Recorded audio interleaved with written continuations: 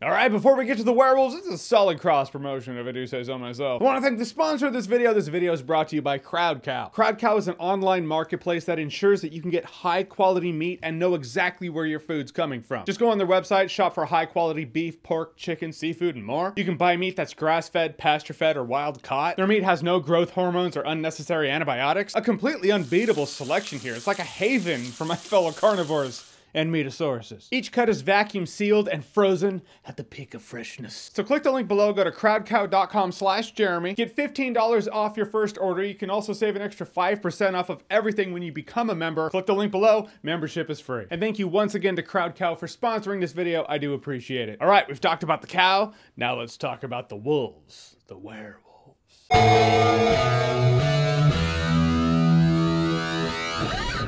Stephen King's Silver Bullet. So Silver Bullet came out in 1985. It's a werewolf movie. It's a mystery movie. It's a mystery movie about who's the werewolf, and it's very Stephen King. Also, a movie that scared the living hell out of me. I saw this movie before I saw Jaws. I was a little kid. And it was the movie where I was like, okay, I'm sleeping under my covers for a month. I don't mean under my covers like, you know, how people sleep under the covers. No, I mean the covers are a magical force field that keeps the werewolf away and I sleep with my head under it, and now I gotta choose. Because oxygen depletion is a thing as you're breathing under the cover. So, do I wanna poke my head out and take a breath and take a chance that I'm gonna come face to face with the werewolf, or do I just keep my head underneath? So I would do that thing where you just make a hole, you're like, for a solid month after watching Silver Bullet scared me to death. For the characters in this movie, the ones I love, like Gary Busey as the uncle, he's the alcoholic, self-destructive, yet cool to his nephew and niece uncle. I mean, there's an arc with him. At a point, he stops drinking, and it's like his nephew going, hey, there's a werewolf out there, and he's like, all right, well, I'll help you out, I guess, if I kind of believe you, which I do kind of believe you. It causes him to stop drinking and being so self-destructive, but it's you gotta pay attention to it. It's not like anyone's like, hey, you stopped drinking, I'm really proud of you. So there's a solid arc with him, but he's also amazing as a cool uncle. He's just, he feels like the kind of uncle you want to have as an uncle. He's really cool for his paraplegic nephew. He'll build him this rocket wheelchair that's completely not within code and will probably get the kid killed. And it's so easy to see Gary Busey as just the crazy guy. It's like, oh, it's crazy Gary Busey, but dude has a catalog of performances and roles in movies where he's a really good actor. I thought he crushes it as the uncle in Silver Bullet. Also, the late Corey Haim, in his youth, he's a paraplegic kid who starts to being like, wait a minute, I think there's a werewolf in this town. So he is the star of the show, as true Stephen King's small town. And in that Stephen King way, this movie really does concentrate on the small town drama. And hey, there's this supernatural element that's rearing its head, and none of the adults believe it's a supernatural thing. That's why a kid in a Stephen King story like this is so important because, like, kids, they have the imagination to take that leap. Like,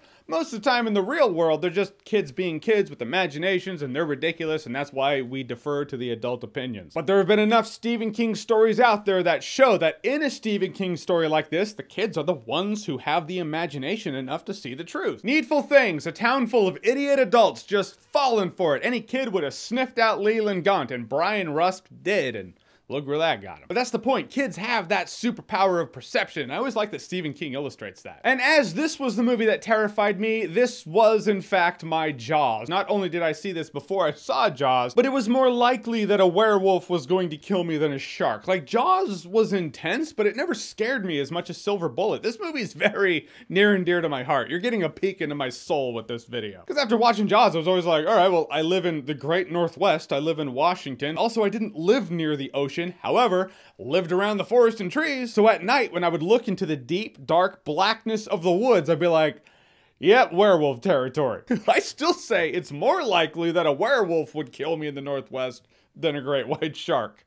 I just, that's real to me. I still, when I look into the woods, I get this uneasy feeling. It's probably because of this movie. Silver Bullet excels when it is being Jaws, and that is when you don't see the creature, that's when Silver Bullet's at its scariest. That's when it's at its most intense, you know? It just has the POV camera, that shaky cam that makes it feel different than the rest of the movie. You hear the snarling of the werewolf. Really scary, intense stuff, but it's when you don't see the wolf that it's at its most intense. Couple of werewolf transformation scenes, really horrific imagery, I like those. But at the end, when the movie starts getting more brash and it's like, okay, now you can see the wolf, it's just not as scary. You're like, ah, oh, you just look like a guy in a thin bear outfit. Well, that's not scary. Seeing the shark in Jaws never compromises the feeling of Jaws. Seeing the werewolf in Silver Bullet, it does compromise Silver Bullet. But I really liked revisiting Silver Bullet. As I was watching Silver Bullet this time around, I was like, yeah, this is something kids probably shouldn't watch. At least a kid in the late 80s shouldn't watch this. I don't know. I mean, kids can go on YouTube right now and see let's play videos, gameplay videos of Mortal Kombat. They can go on YouTube and see any number of clips from any gruesome horror movies. I didn't have such access. Are you kidding me? So when Silver Bullet crossed my plate, I was like, I'm fundamentally changed forever. Bless my parents, they tried. They tried their best to get me not to watch things like this, but whenever they were occupied, I knew.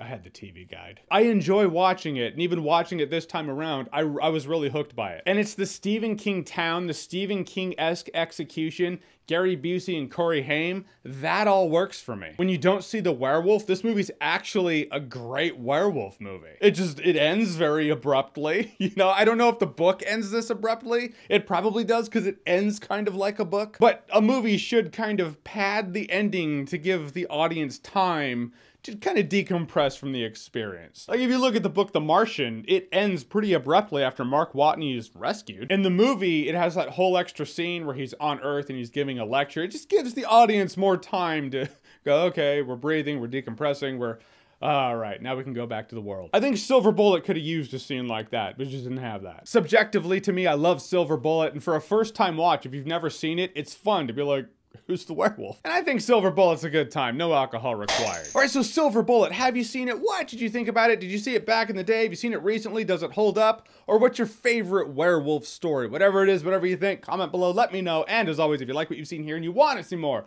click right here to see more.